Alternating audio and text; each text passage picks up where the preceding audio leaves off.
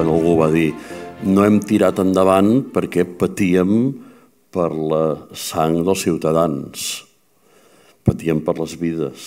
Eh? I això s'ha considerat, ha estat element de discussió fins i tot, i s'ha considerat un llindar, eh? un element molt important. Eh? I bé, i per descomptat, sobretot per la part d'estudiants de, que sou a la sala que, que us heu de plantejar això en alguna assignatura, penseu que en el moment en què Macià diu ens, es constitueix o ens, ens constituïm en govern a partir d'aquest moment, en aquell moment el govern està constituït. Amb quina condició? Amb una única condició, que és que la resta de la societat ho accepti. És a dir, hi ha d'haver una acceptació d'allò que aquell que proclama està proclamant. I si hi ha aquesta acceptació, a partir d'aquell moment això existeix. Les paraules donen existència a les coses. I fixeu-vos que agafant aquesta idea de que les paraules donen existència a les coses, anem al segon discurs, el que fa el mateix Macià, però hi ha un cop creuant la plaça Sant Jaume, per el primer l'Ajuntament, on diu en nom del poble de Catalunya proclamo l'estat català, que amb tota cordialitat procurarem integrar a la Federació de Repúbliques Ibèriques, anem al segon. En el segon, en aquesta línia de les paraules eh, converteixen realitats, és en nom del poble de Catalunya he pres possessió del govern de Catalunya el poble ens ha donat el seu vot perquè governem la ciutat i jo, en nom de Catalunya, em faig càrrec del seu govern i us dic que aquí restarem disposats a defensar les, les seves llibertats. D'aquí no ens trauran sinó morts. També us dic que ens hem de fer dignes de la llibertat que acaba de reconquerir i que espero que el poble sabrà, si cal, morir com nosaltres per defensar-les. Fixeu-vos que aquest segon discurs ja no parla ni de república ni d'estat català, sinó que l'important és que ell pren possessió del govern de Catalunya. I un matís important, és rellevant que el 14 d'abril ell pren possessió del govern, o sigui, primer, canvien el règim d'estat, llavors canvien i proclamen la República Catalana, que després veurem. Ell esdevé president, però és que el bo és que ell no s'havia presentat a les eleccions. Ell era president d'Esquerra Republicana, però no s'havia presentat a les eleccions municipals. És a dir, Companys sí que es presenta, però ell no. De manera que és un cop d'estat, per entendre's, eh? perquè ell proclama una cosa i esdevé president sense haver estat escollit democràticament. Per això, això és el 14 d'abril de l'any 31, un any i mig després, en sentit el discurs d'en Biel a l'inici d'aquesta intervenció, és quan a Francesc Macià, ja escollit democràticament per unes eleccions al setembre, de al setembre o octubre de l'any 32, esdevé escollit president de la Generalitat. Llavors sí. Disculpa, a quina hora era aquest segon discurs? A les uh, eh, 3 menys 5, uh, uns 5 minuts abans de les 3 aproximadament. Mitja hora després de l'anterior, no? Exacte, mitja hora més de, I, després. I aquest ja el fa des del Palau de la Generalitat. Correcte. I, i per tant, al cap de poc arriba en Maluquer. Exacte, però després, poc després arriba en Maluquer. Ja, ja ho explicarem, això, en Maluquer, eh? Que Sabeu qui era Maluquer? Sabeu qui era Maluquer? Era el president de la Diputació de Barcelona en aquella etapa final de la dicta blanda, de Dama Sobrenguer.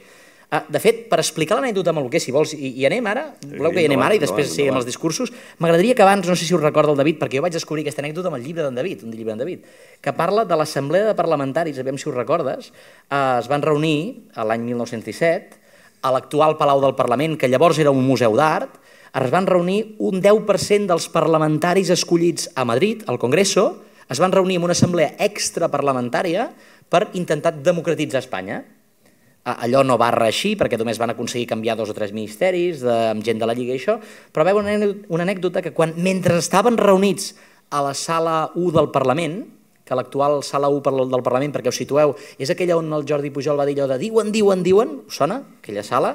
O, o van entrevistar el, el, el d'allò, el Florentino Pérez, doncs aquella mateixa sala, allà estaven reunits els parlamentaris. I recordes què va passar quan estaven reunits?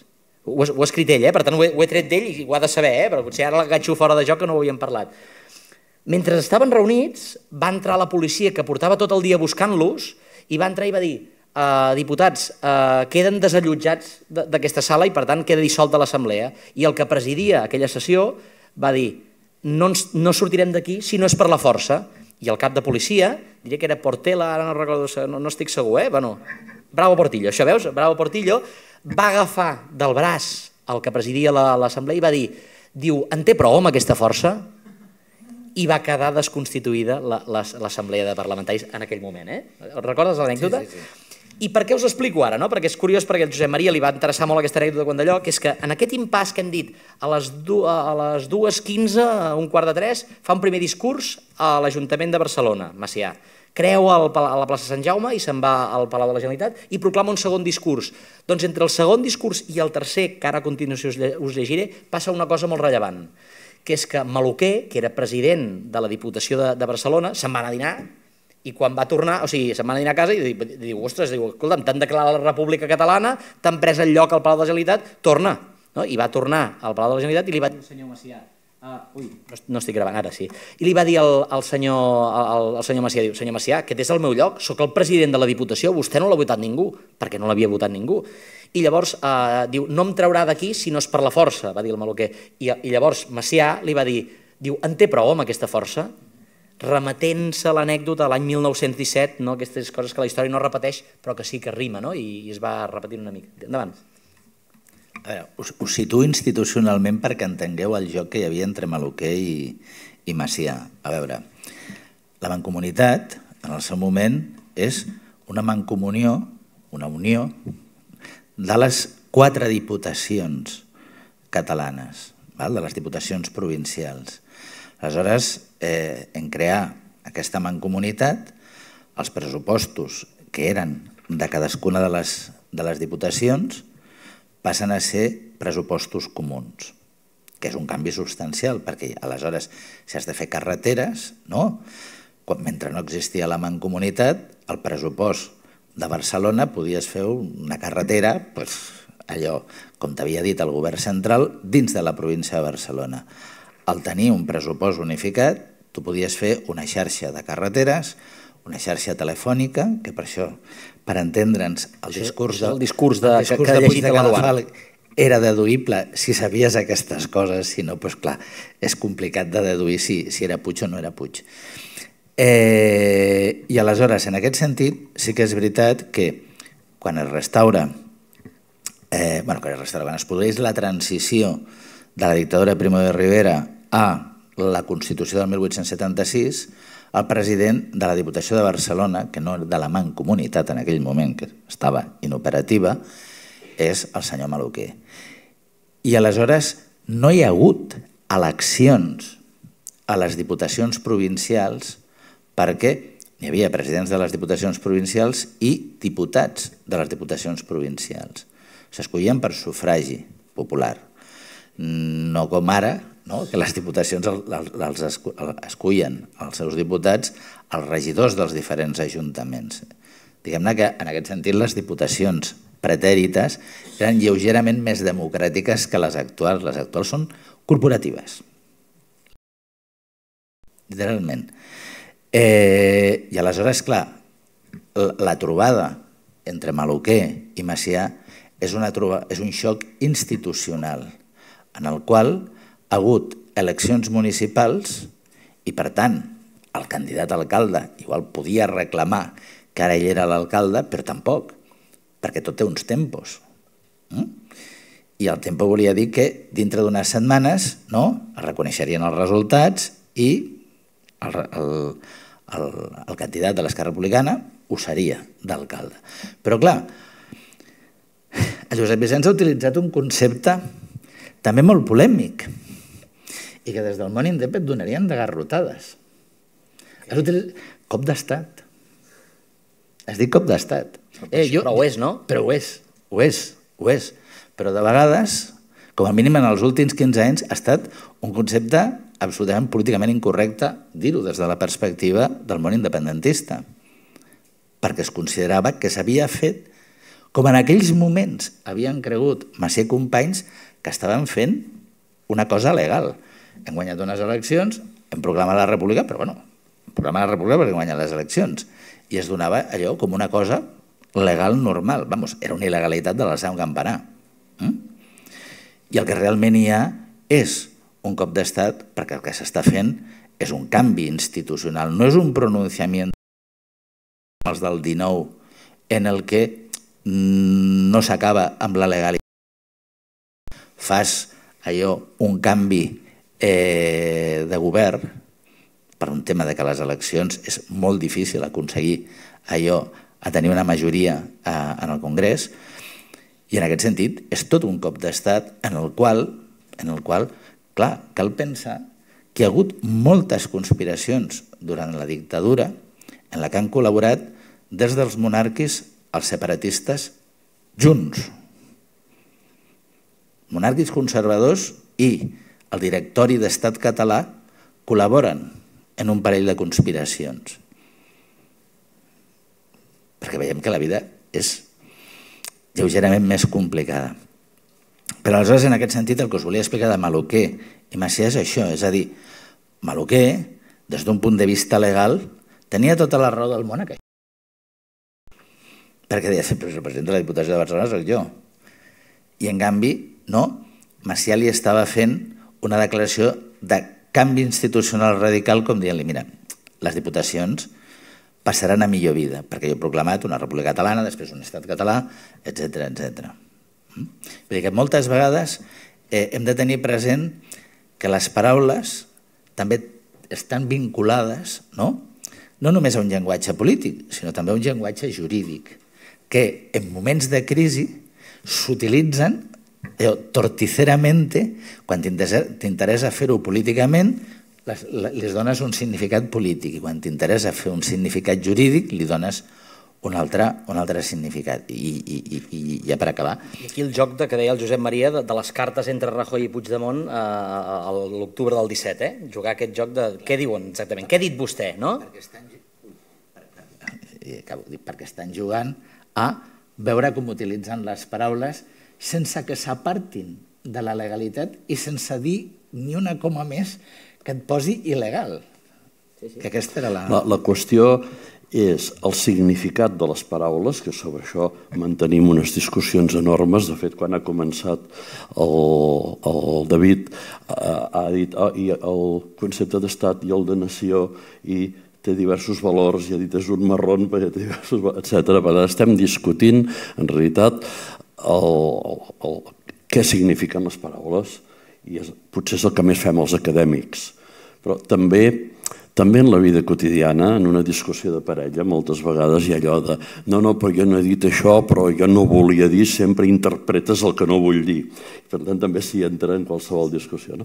Però hi ha, per tant, el valor de les paraules, però hi ha també el valor de qui les diu, que és el, el principal que apareix en l'anècdota de, de Maluquer. Maluquer, efectivament, té la legalitat i aquell edifici és on mana ell. Ell cada matí va allà i és el president de la Diputació i li diuen, escolta, ell està dinant a casa i li diuen, n'hi ha uns en allà que han, han pres possessió de, del palau i de l'edifici. I ell diu, però què dius, ara vaig a fer-los fora perquè allà mano jo, és el meu territori. Llavors ells arriben allà i hi ha tota aquesta anècdota, en realitat és un cop d'audàcia primer companys que es lleva això, que el cos li demana fer-ne alguna, i després Macià que va allà i diu, escolti, jo aquí fins a la mort, eh? Perquè jo sé de què parlo amb això, perquè jo treballo amb fusells, jo soc militar, no?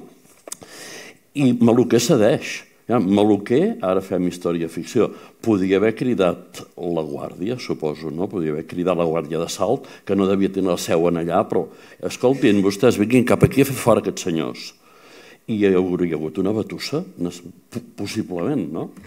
Bueno, és que aquí hi ha un tema de vegades que no, que no es té en compte, és a dir, m'explico. Podia haver anat, podia haver anat la Guàrdia Civil, podia haver anat l'exèrcit. Ara, què és el que succeeix? A data de 14 d'abril, ni l'exèrcit ni la Guàrdia Civil tenien la més mínima intenció de moure un dit per al fons 13. Fins i tot el món dels dinàstics sobretot en el Partit Liberal, s'havien republicanitzat. Azany era del Partit Liberal i es torna durant la dictadura. Alcalá Zamora era un cacic del Partit Liberal i es torna republicà en el trànsit del 30-31 i acaba sent president de la República. Eh, fins i tot, Juan Marc, que també era del Partit Liberal, es converteix en membre del Partido Republicano Radical i bona part del sector García Prietista i Albista es fan, es fan les roxistes en el conjunt d'Espanya. És a dir, el món monàrquic abandona, com a mínim el món monàrquic liberal, abandona el fons 13.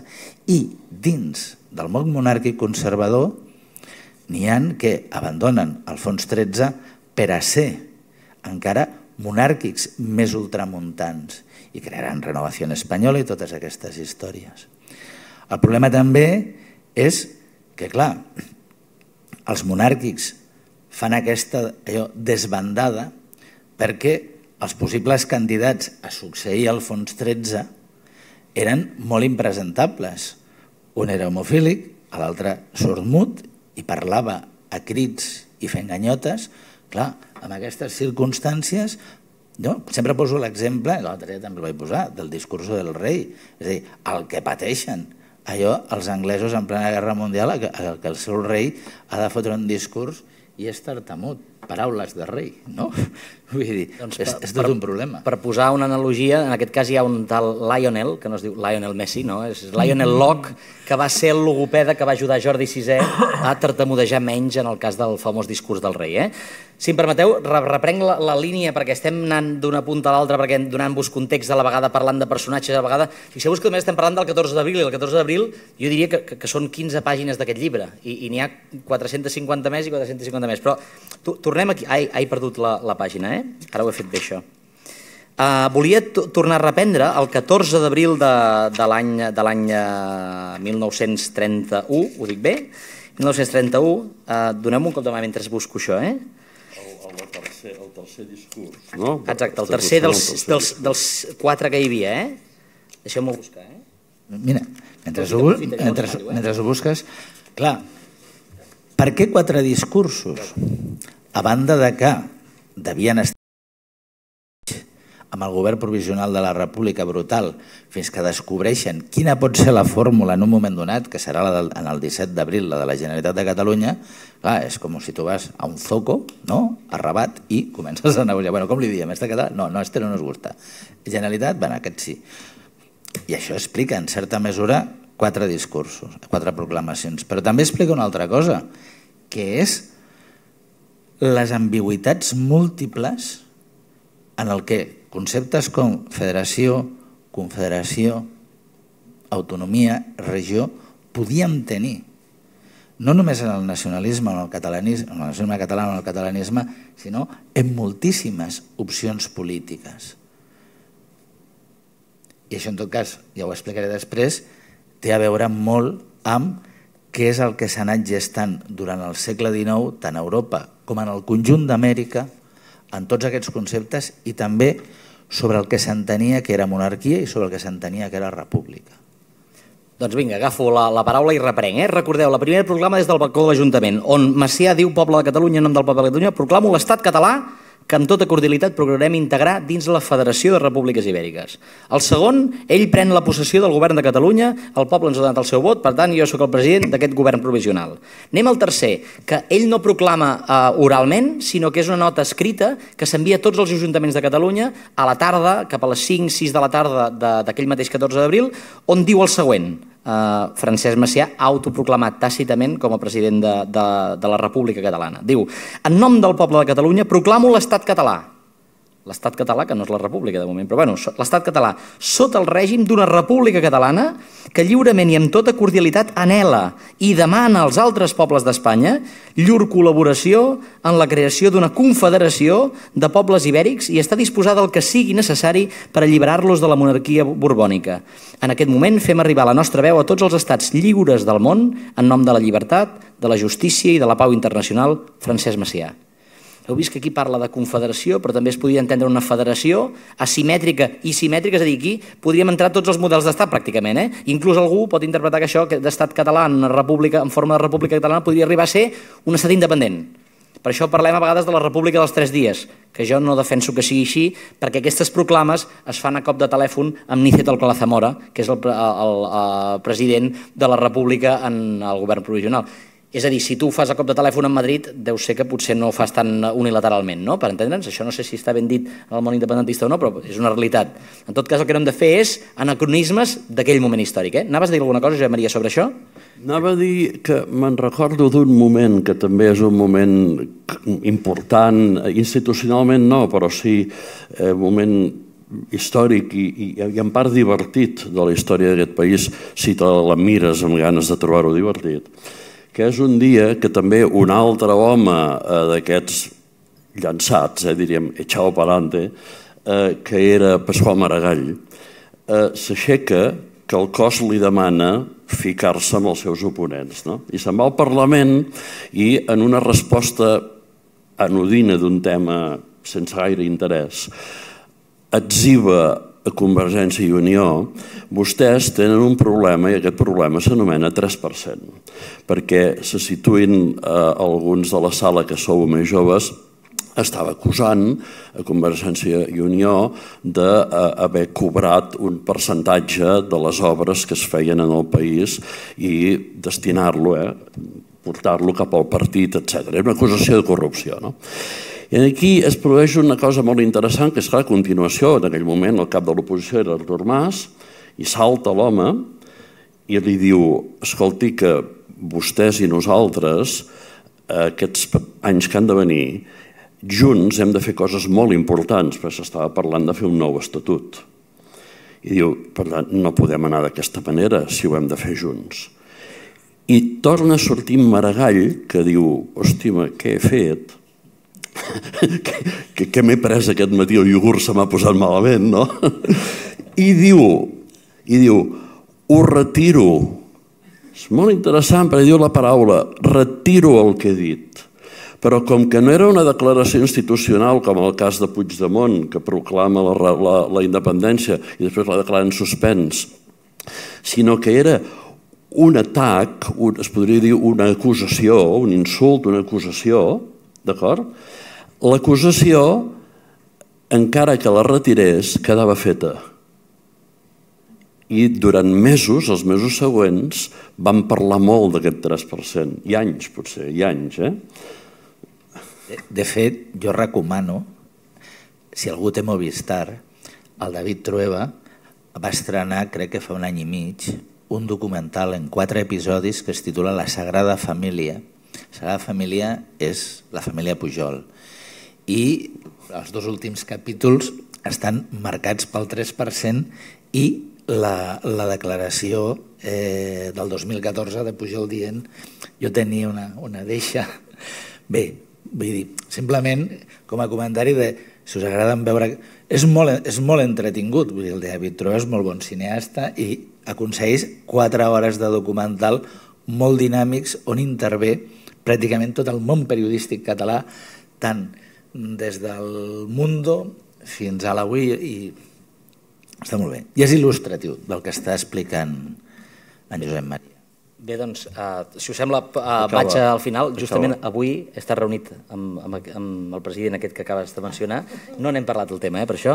Uh, tornem uh, al, al, a l'escena final d'aquestes quatre proclames més una de Lluís Companys i amb això, si us sembla bé, els hi donaré la, la paraula a ells per si volen dir alguna cosa i com que ja portem una horeta parlant, doncs us cedirem el torn de paraula perquè feu les preguntes, qüestionaments, crítiques o el que vulgueu respecte als llibres i al final, si voleu comprar-los, doncs també teniu un descompte d'estudiants de la universitat. Ja us ho explicaré després després, això. Uh, va, doncs, uh, només us llegiré la primera frase perquè el discurs, la, el banc publicitari és molt llarg i el podeu trobar. Fins i tot hi ha una gravació d'això que fa uh, Francesc Macià. Eh? Diu, catalans, interpretant el sentiment i els anels del poble que ens acaba de donar el seu sufragi, proclamo la República Catalana com a estat integrant de la Federació Ibèrica.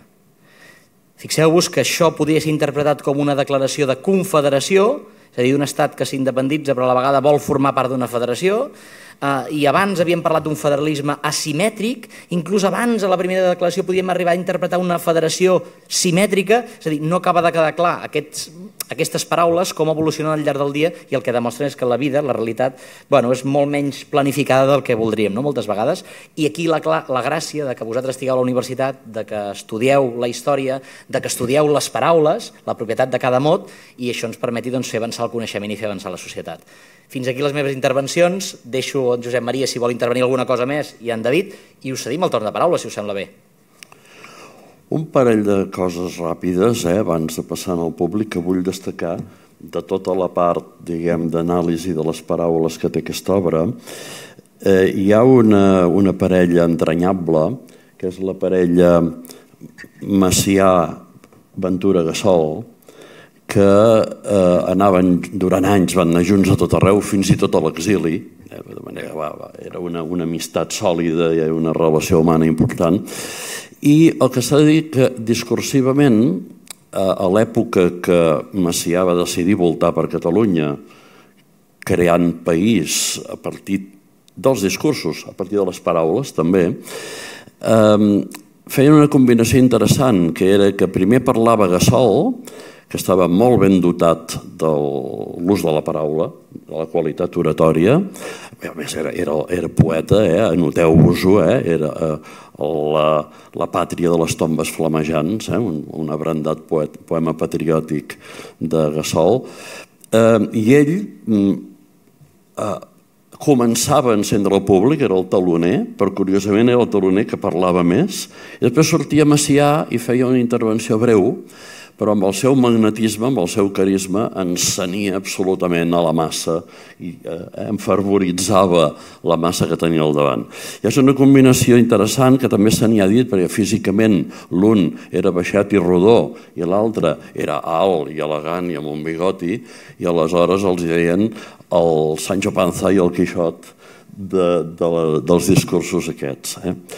Trobareu la foto també, perquè a part de parlar de discursos també hi ha imatges que, que il·lustren això que estem dient. Eh? I l'altra qüestió que, que m'interessa destacar és un debat que hi ha en el llibre molt interessant, que és que de tots tres presidents, eh, Prat de la Riba, que seria l'ideòleg, eh? seria l'home de doctrina, encara que, òbviament, també exerceix com a president, perquè destaca més la doctrina. Puig i Cadafal, que és el tapat, el coneixem o el tenim més present per arquitecte que per president. I estaria bé que, que parléssim un moment de què va passar quan Primo de Rivera va aparèixer i, i tot això. No? I després tenim eh, Macià, que és el, el, el, el qui encén el poble, eh? el qui aixeca amb poques paraules, ben amb la seva presència, amb una comunicació molt no verbal, eh? amb una comunicació del gest, de l'elegància de la paraula i de, i de la carisma per ser. Com que ho diu ell, té aquest valor i la gent ho aplaudeix amb ganes. No? Però el cas és que de tots tres, tots tres et fan bons discursos, però tots tres s'ha dit que no eren bons oradors, per raons diferents. I m'agradaria que en Josep Vicenç ho comentés una mica això. Jo crec que per desmentir-ho. De fet, clar, els, els propis contemporanis de l'època, alguns discursos no els tenim enregistrats i encara no podem sentir com parlava Prat o com parlava Puig només per fonts secundàries que diuen com, com parlaven, no? com matien aquests discursos. I diuen que eren mals oradors perquè fins i tot eh, hi ha un fragment que diu eh, Prat de la Riba ho passava malament, sentia d'allò, sentia mal físic, sentia dolor i a més a més era, era rodanxó, era petit, diu, i no, tenia, no, no era gaire guapo per entendre, no? tot i que tenia els ulls blaus, això hem sabut per, eh, per Azorín, si no m'equivoco, doncs doncs, eh, doncs a banda de ser aquesta imatge personal que no el predestinava a parlar en públic, no tenia gaire dots d'oratòria. Tot i així, clar, fa discursos memorables i fa paraules realment que, que, que copsen la història de, de Catalunya. No? I, per exemple, a Puig i Cadafal, recordo, si no, no sé si era Prat o... Ai, Prat, perdó, Josep Pla, em sembla que deia que era aspre i cantellut. És a dir, que tu l'anaves a veure i era, i era borde, i era esquerp, i era, i era d'allò. I això feia que no tingués aquesta connexió fàcil amb, amb, amb, que, que es predisposa d'un orador que ha d'interpel·lar al públic. No? Tot i així, escolta'm, els dos van ser presidents. I després de Macià és curiós que ell era... I jo, eh, una entrevista que em van fer vaig dir que avui en dia potser Macià seria tiktoker. Per què ho dic això, no? Perquè ell era molt conscient de la necessitat de la imatge, de cuidar la imatge, de cuidar les paraules justes, no? I, i de fet, fins i tot a Madrid, els seus, el, el color dels seus trajos, els seus trajes, en deien que era el gris macià. Per tant, ostres, cap dels tres era un gran orador d'acord amb, els, amb els paràmetres de l'època, perquè potser no entraven a la lògica de, de discursos eh, recargolats i amb moltes, amb moltes floritures, com podia fer Salvador Seguí, per exemple, però en canvi eren grans comunicadors i les seves paraules van transformar el seu temps. Que aquesta és part de les conclusions d'aquests dos llibres. Eh? No sé si respost les teves preguntes, Josep Maria, per tant sí que eren bons comunicadors. I no eh? sé si el David té aquesta sensació, i també li demanaria a en Josep Pic, que jo diria que el, el concepte de bon orador de l'època era el del, de l'orador que parla en castellà i que et fa un discurs d'estil bastant barroc que era l'estil dels discursos d'un polític al llarg del XIX i, i, i entrat al XX a les Corts Espanyoles. De fet, si em permets, sí? ara m'ha vingut al cap un llibre molt, molt bueno, poc conegut que es diu Eloquència forense, que el va escriure l'avi de Lucelai de Cal del, del segle XIX i parla justament d'això, de l'estil gonflat i turgent que en certa manera hauria de tenir aquesta retòrica més del segle XIX i XX. Eh? Sí, jo, jo, jo el que ratifico, que explica el Josep Maria, és eh, la passió que tenia Macià pel cinema. Li agrada molt el cinema i les eleccions del 12 d'abril li enganxen en el cine i, i se'n va corrents al, al Palau de la Diputació que és el Palau de la, de la Generalitat, i, bueno, i ve tot el que ens ha explicat el, el, el Josep Vicenç. Eh, I és tant la importància que li dona la imatge que un dels membres d'Estat català, que és Josep Carner Ribalta, el fa venir de, de Hollywood, que està allà el tio ballant-se les garrofes, fent guions impossibles eh, de cine, i li diu tu aquí has de muntar una cinematografia catalana perquè això de la imatge és el futur. No? Llavors, en aquest sentit, penso que eh, en el cas de Macià, una cosa que li dona prestança, malgrat el que diem de que si la seva oratòria no, és que el tio tenia porte. Tenia porte i, a més a més, eh, amb una vocació que jo crec que és important, que és que el, la seva gent el considerava un capdill. I en aquest sentit és important tenir present que eh, Macià es mirava molt què passava a Amèrica, tot i que fa el seu viatge a Amèrica, i que tota l'experiència política americana sobre la idea dels capdills és una cosa que ell recull i que té claríssima. Els capdills polítics americans, fins i tot els nacionalistes revolucionaris d'esquerres, tipus Sandino, hm, són coneguts com generals, encara que no hagin estat militars professionals alguns. I, per exemple, eh, tots els dirigents de la Revolució Mexicana es refereixen a, a ells com a general. Obregón, que era propietari de terres, és general. Calles, tres quartes parts del mateix. I Cárdenas, tres quartes parts dels mateix. És a dir, es fan generals perquè combaten a la, a la revolució. I aquí hagués passat el mateix si, acabada la Guerra Civil Espanyola, hagués guanyat la república, doncs probablement allò eh, García Oliver, que comptava com a membre del sindicat d'oficis varis i deia ell que havia estat cambrer, doncs probablement hagués estat allò cap d'estat major de l'exèrcit de la república. Però vull dir que aquesta idea de la militarització és una idea important a tenir en compte no? en alguns, allò per la imatge més, en el cas de Macià, moltíssim, moltíssim, moltíssim. És a dir, el que l'oratòria li posava Gasol, la imatge la posava ell, com dient, jo soy el abuelo majete.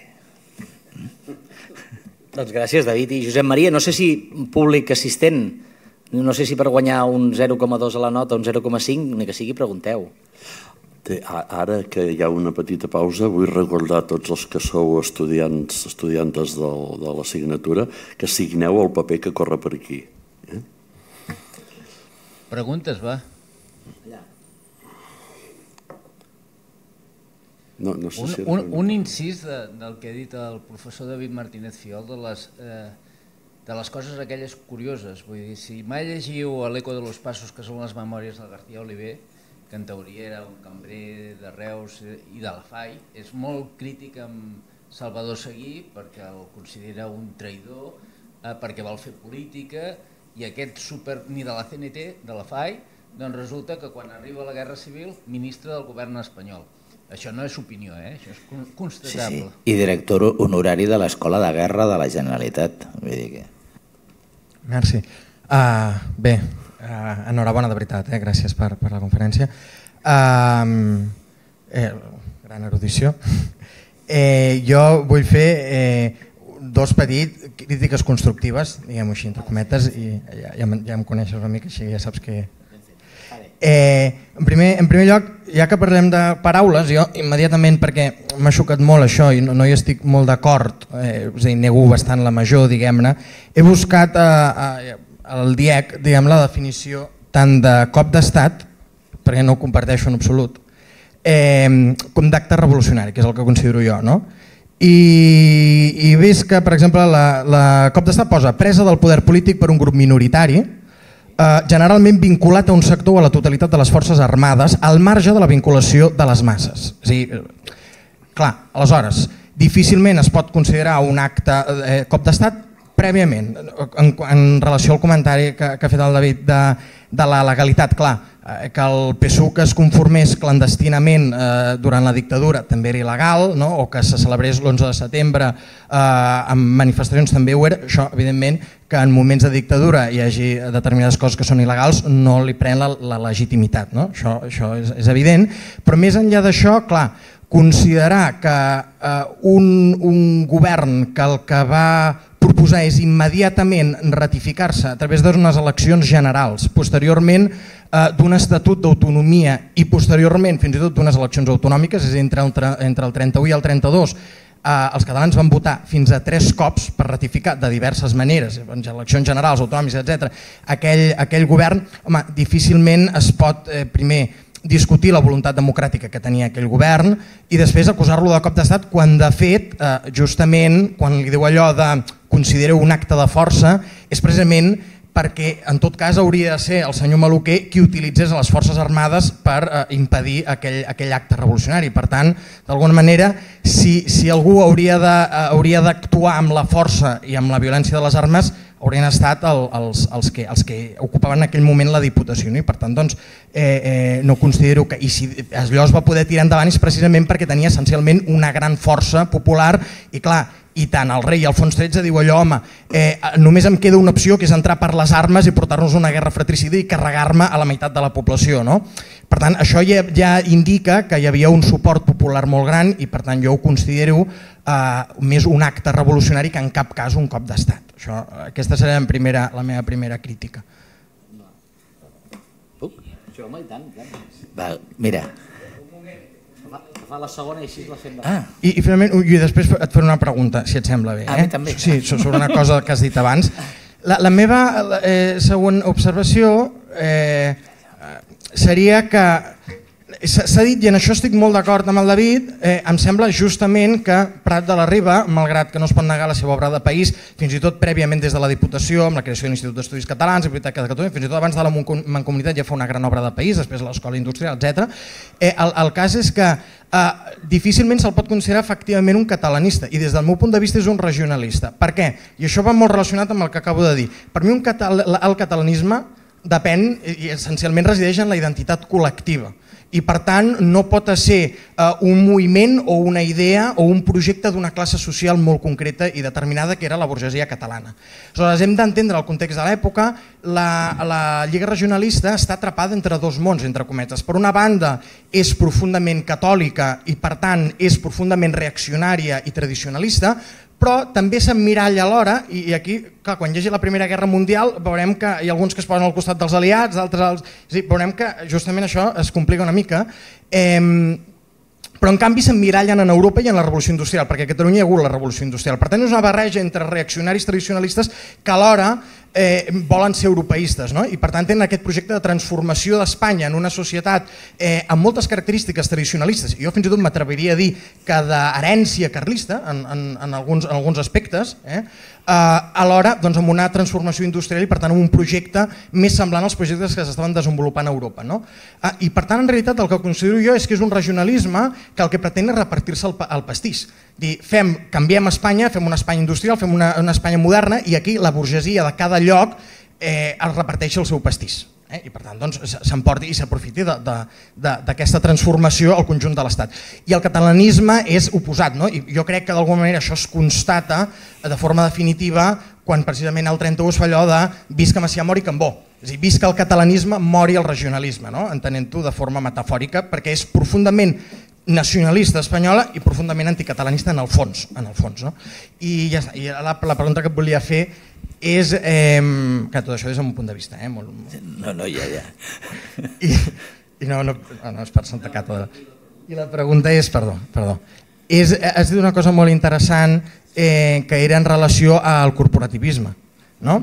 Aleshores, eh, una, una pregunta, ja està. Creus que hi ha, pot haver algun tipus de vinculació o algun tipus d'herència de la forma en com, en com aquí s'organitzava la societat en gremis, en el fet que la forma en què s'imposi eh, principalment de socialisme durant bona part del segle XIX i principis del segle XX sigui l'anarquisme i no el marxisme, també acompanyat jo crec amb el fet que aquí no hi ha un estat, sinó que l'estat està a Madrid i per tant també potser té a veure amb, amb el fet català. No? Però creus que pot haver una herència en la forma d'estructura que ja existien els gremis a l'hora d'organitzar-se amb aquesta o de proposar aquest, aquest model més anarquista que o pot tenir alguna relació? Diguem-ne, ja està, eh? Això ja, perdona. Eh? eh l'última és tota una conferència. Eh? No, no sé, mira, vaig per les altres i la darrera la intentaré a, allò, a sintetitzar, complicat. Penseu eh? que ens queden 9 minuts eh, per d'allò. No, no ho dic per tu, dic per acabar l'acte. No, no, no. Ah. Ho dic per, no, no, pels altres que, que puguin fer preguntes. Digues, digues, David. Sí. Um... Ah, el del cop d'estat. Mira, uh, intentar definir un cop d'estat a partir de qualsevol definició que surti en qualsevol allò, Reial Acadèmia, el que sigui, és impossible. Ja posaré un exemple. Ja vaig comentar, em sembla, l'altre dia amb la, amb la presentació del llibre de Dan Cas, amb les jornades, no? que feia, faig classe d'Història d'Amèrica Contemporània a, a, a l'Autònoma. Saps com li diuen els cops d'estat militars a Amèrica? Revolucions. És revolució el cop d'estat d'Uriburu i tothom té clar que està inspirat en Primo de Rivera. I tothom a Primo de Rivera li diu cop d'estat. Però Primo de Rivera també defineix lo seu com una revolució. Eh, el propi cop d'estat de, de la Junta Argentina es defineix com revolució. I als revolucionaris no se'ls diu revolucionaris des del punt de vista dels colpistes en llenguatge europeu, sinó que els diuen subversivos, perquè la paraula dura és dir subversivo. Aleshores, per això, d'entrada aquí, el que pot ser revolucionari i el que pot ser un cop d'estat és que probablement hi ha moltes coses que són les dues coses alhora, és a dir, un cop d'estat que és una revolució. Ara, és a dir, el dels mateixos bolxevics és un cop d'estat com l'alçada d'un campanar. I aquí sí que hi ha força armada, perquè la Marina està al darrere. Vull dir, però tothom... Aquí per reforçar això que estàs dient, David, el Josep Maria es volia referir un terme que potser estaries d'acord, però que ve a ser el mateix, eh? No, bé, jo crec que hi ha la idea de trencament eh, o interrupció de la legalitat que hi ha en un moment determinat i, aquest, i això que he dit així és neutre, com que les paraules són positives o negatives, si dius cop d'estat vas estar comptant negativament, si dius revolució, positivament, llevat que fossis de la Lliga que no els agradava la paraula revolució, per a res. És a dir, en l'actualitat valorem positivament la paraula revolució, però de cap manera en aquella època. No?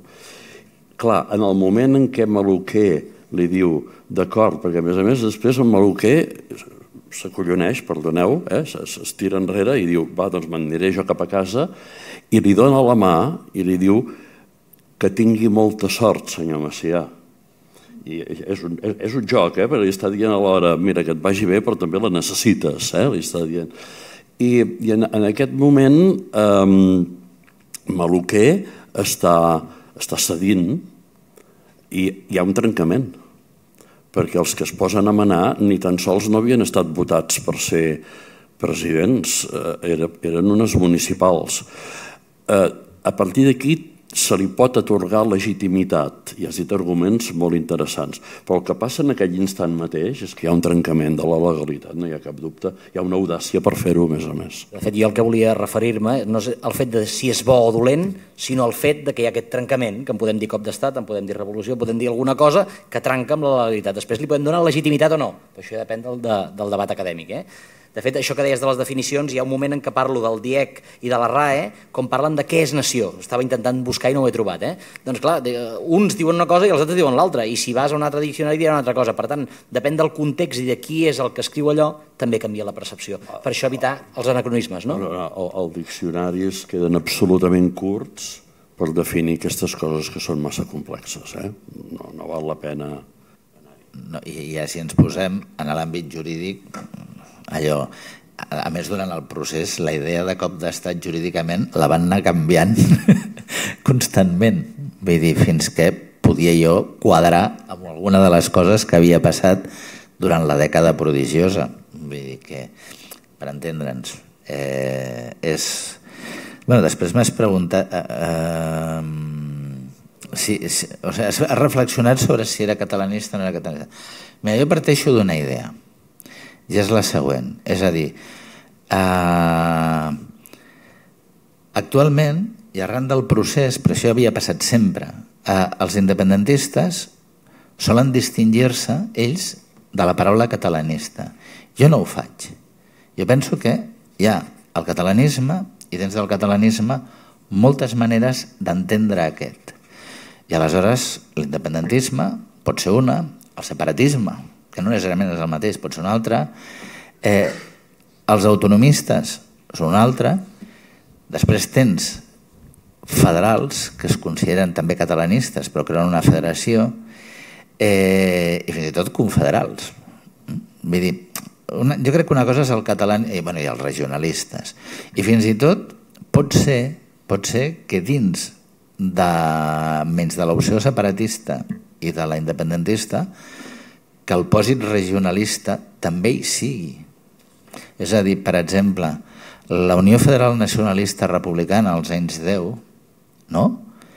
I si m'apures, en segons quin moment allò, l'esquerra republicana governamental dels anys 30, fa regionalisme d'esquerres. És a dir, la política cultural, que ho vam comentar eh, fa dues setmanes, és que no varia molt del que estaven fent els, els, els regionalistes. L'únic és que ha quedat la paraula regionalista com vinculada a la lliga regionalista i aleshores ha quedat ja com creuificada per ser dels regionalistes. Però, en essència, no? Mm, diguem-ne, són conceptes que allò que fluctuen eh, d'una banda a l'altra. Si em permets, David, per precisar mm. això, hi ha un apartat que es diu la, eh, que, que parlem del tipus d'estat, on parlem de l'estat unitari pur i el centralisme, de l'estat federal, i dins del federal o el federalisme hi ha els regionalismes, el regionalisme de Pi Maragall, o sigui, el federalisme de Pi Maragall que evoluciona en regionalisme, parlem de la Lliga Regionalista, parlem de l'autonomisme, de diferents models, fins al confederalisme, i del confederalisme a l'estat independent pur. Dins del, tot això dos són diferents corrents dins del mateix catalanisme, si ho entenem tot com un sol corrent, amb diferents vessants de dreta, d'esquerra, més conservadors o menys. De fet, si vols anar a, a, a l'origen de, de què és Prat de la Riba, per mi es, es resumeix a la pàgina 294, en què ell, jo defenso que és l'amalgamador entre el reaccionarisme i el tradicionalisme ruralista de dretes de Torres i Bages i el progressisme i del particularisme de Valentí Almirall i Llosar. Per això podem parlar d'aquest punt mig de nacionalista català que potser podem discrepar o no, eh? però en tot cas jo ho deixaria aquí. No sé si el Josep Maria vol afegir alguna cosa. Jo volia afegir eh, que el que hem dit abans, eh, el, el, és important què volen dir les paraules, eh, però també és molt important perquè acaba manant qui diu les paraules. I ara mateix el, el David Martínez ens ha fet una, i, i en part també s'hi ha apuntat en Josep Vicenç, una definició magnífica de catalanisme que a més a més comparteixo és una definició àmplia, eh, d'ampli espectre i englobadora. però això és dit doncs, ara per un acadèmic. Els últims, jo diria 40 anys, però especialment els darrers 20, a Catalunya, qui més ha dit nosaltres som catalanistes, eh, ha estat un partit polític, que és el PSC. I era una manera de dir som catalanistes, fins i tot et deien explícitament però no som nacionalistes perquè el nacionalisme és una cosa que va parar eh, als nazis, Eh? eh literalment m'ho havia dit a mi un alcalde socialista, això. No som nacionalistes. És una visió molt europea, el nacionalisme com a terme a França, a Alemanya, són termes condemnats. Sí, sí, però m'entens que en l'ús europeu general el mot nacionalisme està connotat negativament pel nazisme i en canvi el mot catalanista apareix com a més neutre quan el diuen els socialistes però en canvi altres quan els, els diuen vosaltres no sou catalanistes de veritat. I aleshores arribem amb aquesta cosa tan interessant que es diu aquesta paraula però no ho ets de veritat. I el que vol dir de veritat, aquest sentit de puresa, de genuïnitat, també implica molt en l'ús de la paraula. De fet, això ho deia el Josep Pic moltes vegades, que tots els nacionalistes catalans són catalanistes, no tots els catalanistes són nacionalistes catalans. No sé si trobar aquest matís, eh? Bueno, de fet, durant el procés, eh, el, i fins i tot ara encara es, es produeix la circumstància de que quan vols acusar eh, els sectors allò obertament dissidents amb la legalitat espanyola els diuen eh, los nacionalistes. Però clar, és, és, és, un, és una utilització i una significació de la paraula molt política i molt poc conceptualment historiogràfica. Vull dir, jo la, la puc interpretar en un article, en un llibre, en una classe, no? Dient, bueno, això és en el significat que li dona aquest sector, però clar, no és la definició, és la interpretació que se li vol donar. Clar, per això moltes vegades definir un concepte, una paraula, és complicat perquè allò pot tenir totes les definicions que puguin, de tots, a partir de tots els partits, organitzacions i persones, el significat que li vulguin donar. I per això aquest llibre és un marron, no? Que entrem a, a debatre I, això. I, I per això és un marron. Jo diria que és útil. Un marron no, sí, útil. Sí, sí. Però eh, ja sé que és l'hora, però no vull deixar ningú que vulgui preguntar sense preguntar. Per tant, el que demanaré que tots els que vulguin preguntar aixequin la mà, fem totes les preguntes i tancarem l'acte. Sé que hi ha una pregunta, eh, una, una pregunta aquí. Algú més vol preguntar? Si no, no tornaré a donar el micro, eh? Només una pregunta, doncs, escueta, si pot ser. Intentaré ser breu. Ui, va molt fort això. Eh, que en el discurs de Maragall ens hem centrat com amb l'ambivalència entre els termes de poble, estat, eh, república, com una mena de bueno, d'aquesta ambivalència que no acaba de quadrar res, que en certa mesura volguda i de nació, eh, jo m'ha faltat un terme que em pensava que sorgiria, que és el concepte de pàtria. Uh, no sé si en Maragall no surt... En... Vols dir Macià, eh? Ai, perdó. Sí, sí, no, no. Si estava pensant en Maragall perquè estàvem parlant ara de... de perdó, en Macià. Eh, eh, doncs això, que parla de, de federació, parla de, de nació, parla de república, però no parla de pàtria. I pel que tinc entès en, en, en episodis anteriors, eh, no sé, tinc la concepció, potser m'equivoco, que se sol parlar com de la nació com l'estat general, és a dir, eh, l'Estat, mm, per exemple, recordo que em parli eh, Torres i Baix en la tradició catalana com la nació que és Espanya i en canvi la pàtria és, la pàtria és Catalunya i l'Estat que seria la, la part institucional política de Catalunya i no, voldria preguntar si en aquests tres discursos de president des de Prat de la Riba fins a Macià es pot veure aquest canvi de pàtria a que no es parli d'aquest terme, si té alguna explicació, si senzillament és coincidència, mm, no sé, m'ha faltat aquest terme i m'ha semblat estrany. Ah, està bé que ho comentis i de fet aquest terme sorgeix en els dos, eh? I, i perquè parlant aquí, trobant aquesta diferència, a vegades es parla de nació, a vegades d'estat, a vegades parlem de pàtria, com a Catalunya, no? que Catalunya és la pàtria de tots els catalans, això ho diu Prat de la Riba, no en aquests discursos, però sí en anteriors. Des del 1890, el seu primer discurs que tenim recopilat, i a molts altres parla de pàtria i parla de la diferència entre nació, nacionalisme i pàtria. Eh? Inclús la, quan parla de la nacionalitat catalana, fixeu-vos que la Constitució del 78 pa parla de les nacionalidades. Eh? De certa manera, veuen d'aquest origen de Prat. En aquests discursos no es parla de pàtria, però sí que veuen molt de la, de la diferenciació dels termes nació eh, i pàtria. De fet, aquí ho expliquem en un apartat, per tant en 50 pàgines és difícil de, de respondre tant una d'allò, però val la pena fer aquests matisos entre què és pàtria, què és nació i què és estat, que són conceptes diferents en aquell moment i, i ara. Per tant, aquí és la dificultat de que, de que estem fent com un tot un revolutum i evitar els anacronismes de cada context. Per tant, si vols després, agafem l'apartat i mano a mano eh, doncs el desgranem i, i especifiquem què és pàtria per Prat, eh, per, eh, per Puig i no per Macià que no en parla tant, sobretot els discursos no en parla tant. Si em permeteu, acabo jo. Felicitar els, els dos participants en la Rose Battle i l'autor dels dos llibres. Jo discrepo de l'amic David Martínez Fiol, no considero que el llibre Nació i Estat sigui un marró, més aviat considero que és un llibre molt útil perquè en parlem molt de nació i d'estat, però tenir concentrades totes les diferents preguntes en un llibre té una certa utilitat, partint la premissa que no hi ha cap llibre que ho agafi tot i que els termes són canviants, eh, com les paraules, i que les paraules depenen del seu context, per tant trobo que és un llibre molt útil. I les paraules de president és un llibre molt innovador, perquè és una cosa que no s'havia fet mai, i això costa, eh, costa i té els seus riscos i té els seus, eh, els seus perills, perquè l'anàlisi del discurs està molt més vinculat a la politologia o a altres rames del saber que no passa a la història. Per tant, el que ha fet és una cosa molt, molt innovadora. Eh, lo de Rose Battle és que podeu veure que eh, no és una presentació de llibre eh, eh, com acostumen a ser les presentacions de llibre, però és que són molt avorrides i això és més, més interessant. Trobo que heu pogut aprendre, heu pogut preguntar, donar-vos compte que les coses tenen visions i interpretacions diferents. Per exemple, quan es parlava de la Lliga Regionalista, la Lliga Regionalista tenia dues ànimes molt clares. Una, la de Cambó, que és la regionalista, l'altra la nacionalista, que és precisament la de Puigcica de Falc. I si parlem d'Enric Prat de la Riba, doncs jo diria que Prat de la Riba estava més a prop de Puigcica de Falc que no pas de Cambó, però és la meva opinió i puc estar equivocat. Eh, T'aconsellaria que llegissis la nacionalitat catalana i especialment el seu últim capítol que porta per títol l'imperialisme català, que fa referència a un llibre d'Enric Ocelai de Cal. I per mi sí que en Prat de la Riba és catalanista. El que passa és que el catalanisme majoritari no era eh, ni separatista ni independentista. És que pot haver un catalanisme espanyolista.